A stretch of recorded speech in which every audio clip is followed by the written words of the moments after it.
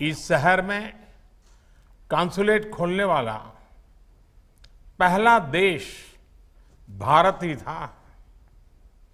और तब से यह शहर हमारे संबंधों के कई माइलस्टोन का साक्षी रहा है।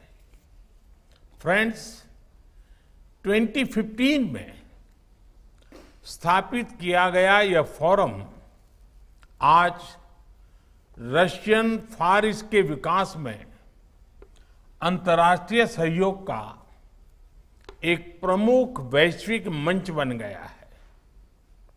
इसके लिए मैं राष्ट्रपति पुतिन की दूरदर्शिता का अभिनंदन करता हूँ और उन्हें बधाई भी देता हूँ।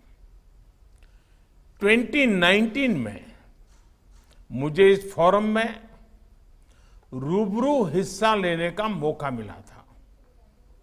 उस समय हमने भारत की एक्ट फॉर ईस्ट नीति की घोषणा की थी और परिणाम स्वरूप रशियन फार ईस्ट के साथ विभिन्न क्षेत्रों में भारत का सहयोग बढ़ा है।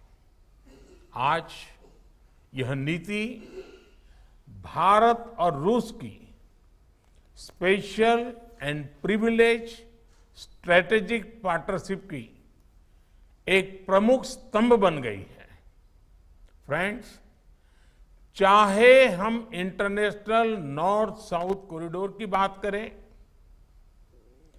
चेन्नई व्लादिवोस्तोक मैरिटाइम कॉरिडोर की या नॉर्दर्न सी रूट की, भविष्य में कनेक्टिविटी हमारे संबंधों के विकास में महत्वपूर्ण भूमिका निभाएगी। भारत आर्कटिक विषयों पर रूस के साथ अपनी भागीदारी को मज़बूत करने के लिए इच्छुक है। ऊर्जा के क्षेत्र में भी सहयोग की अपार संभावनाएँ हैं। ऊर्जा के साथ साथ भारत में फार्मा और डायमंड्स के क्षेत्रों में भी रशियन फार ईस्ट के महत्वपूर्ण निवेश किए हैं। रूस कोकिंग कोल की सप्लाई के माध्यम से भारतीय स्टील इंडस्ट्री के लिए एक महत्वपूर्ण भागीदार बन सकता है। हमारे बीच टैलेंट की मोबिलिटी में भी अच्छा सहयोग बन सकता है। भारतीय प्रतिभा ने विश्व के कई साधन संपन्न क्षेत्रों के विकास में योगदान दिया है। मुझे विश्वास है कि भारतीयों की प्रतिभा और प्रोफेशनलिज्म से रशियन फार में तेज़ी से विकास आ सकता है।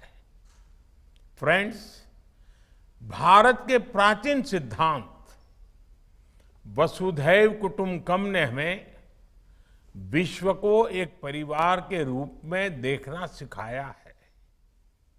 आज के ग्लोबलाइज वर्ल्ड में विश्व के किसी एक हिस्से की घटनाएँ पूरे विश्व पर प्रभाव पैदा करती है।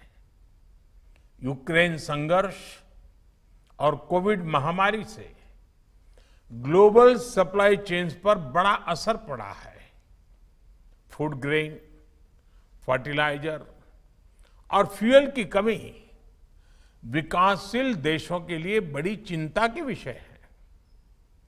यूक्रेन संघर्ष की शुरुआत से ही हमने डिप्लोमेसी और डायलॉग का मार्ग अपनाने की आवश्यकता पर ज़ोर दिया है। हम इस संघर्ष को समाप्त करने के लिए सभी शांतिपूर्ण प्रयासों का समर्थन करते हैं।